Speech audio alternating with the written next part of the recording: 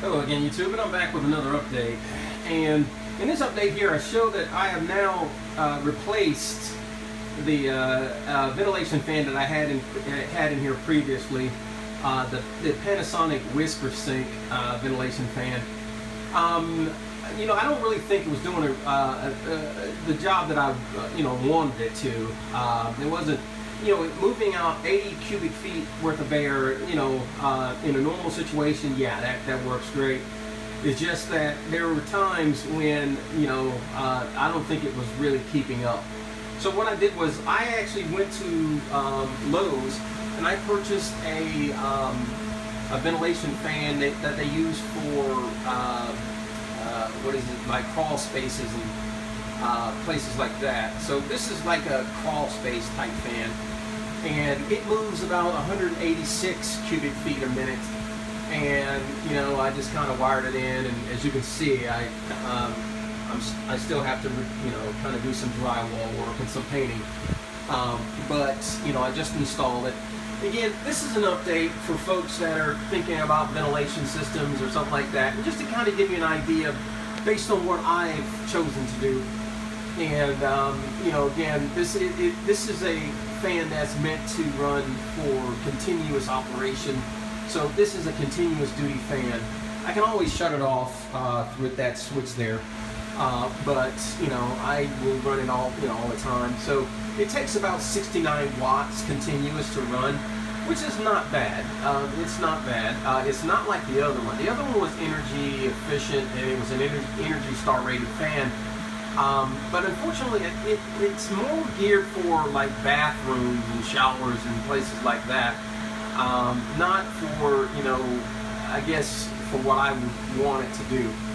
And so when these batteries are being charged, um, you know, they get they do give off uh, gas, hydrogen and oxygen gas. And I do have, you know, positive ventilation in the room. And for one thing, I also want, I needed a fan to get rid of the heat. Uh, if you look right here, you know, I have a thermometer and sometimes this room, because I have, you know, a hot water heater and and unfortunately, you know, it, the days have been hot, so the air that's being blown in is sometimes hot air in addition to, you know, the hot air or the air coming from the inverter when I'm using it or something like that. Um, so I need this, I needed a fan to also blow out, you know, the hot air. Now, hopefully this one should do the trick. Um, also, you know, you can see that the motor is enclosed. And I can get a regular like bath and ventilation fan, but uh, the motor is, I had one and the, the, motor is not enclosed. And, you know, that's a spark risk that I didn't want to take as well.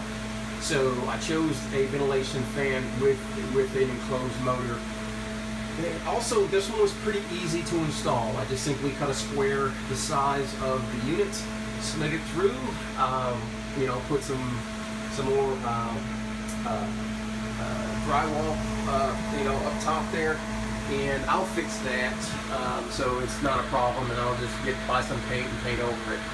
Uh, but again, this is pretty much it. Um, you can get this fan from Lowe's or, Home, or I think Home Depot may have their own version of it and it was about $89.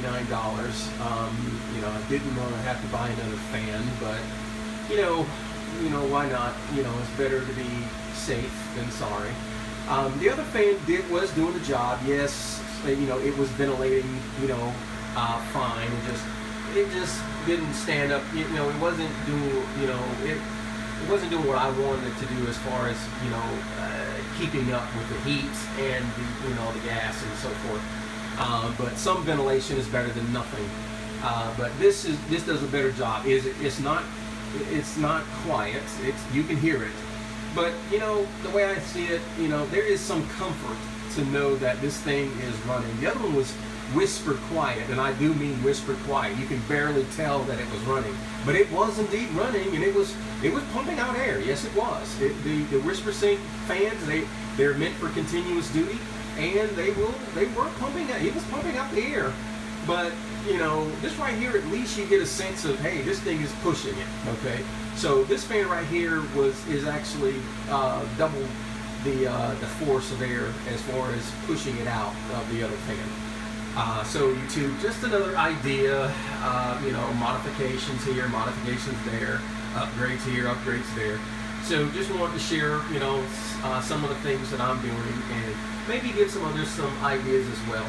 Again, this room is just like one big battery box. Um, so I got air coming in from here, uh, being blown in from the outside there, and air being sucked out through here. So in this fan right here, 80, 186 cubic feet a minute.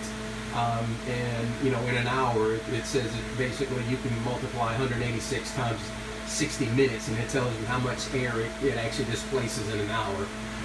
And uh, with these batteries, you know, hey, just you know, get out the you know the hydrogen, the oxygen, and whatever else, whatever other particulates are in the air. But anyway, YouTube, just an update, and uh, you know, feel free to comment, um, and I'll try to answer any questions. All right, take care.